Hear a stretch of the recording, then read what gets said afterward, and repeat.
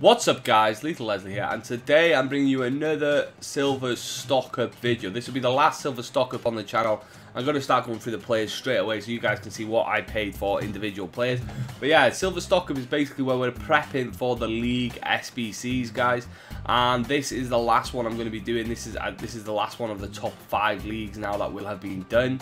Um, we've already banked, made bank on the first one, which was the Calcio, uh, no, not Calcio A, Liga 1 Cavani SBC. I think I made about 150k myself personally on that one, which was brilliant. So obviously it's just working great, the silver stock up. And this is the last one we'll be doing for the big leagues, guys.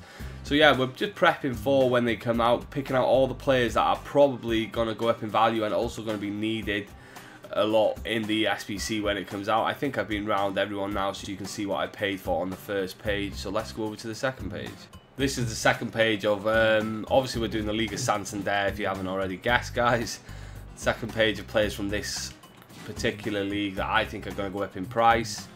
There's a fair fair bit in the league. There's uh, two and a half squads worth, so I think that's pretty decent. I think there's a fair bit to be made here. And all the cards in this one, as you can see, well, not all, but majority of them are extremely cheap, guys. I definitely think this will be a really good league when it comes out. And these players, considering it's the one of the, well, possibly the biggest player of all that will come into the SBCs, there's a good chance that these players will shoot up a lot as well, guys. So that's what we're looking for. And yeah, this is the second page done. So let's get on to the third. This is the third and last page for this, this silver stock up. There's not too much on this page, but let's just go through them so you guys can see what I paid.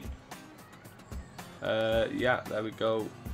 And I think that's it really, guys. That's it. I think I'm going through them again, but that's fine, yeah.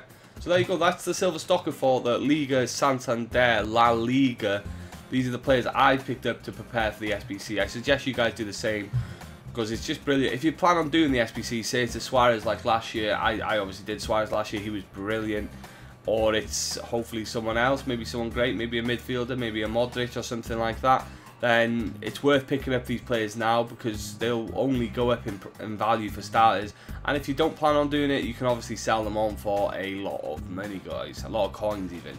So yeah, that's it for the silver stock up, guys. I'll be I will be doing no more leagues this year, but I will do a lot more leagues at the start of next year. I'll just probably do a lot all the leagues that aren't already available so if you like the video like the video subscribe if you want to see more thanks for watching as always and take it easy